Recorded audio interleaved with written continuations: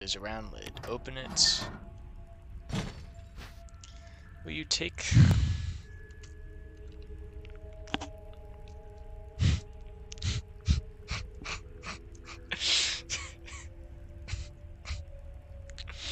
I'm sorry.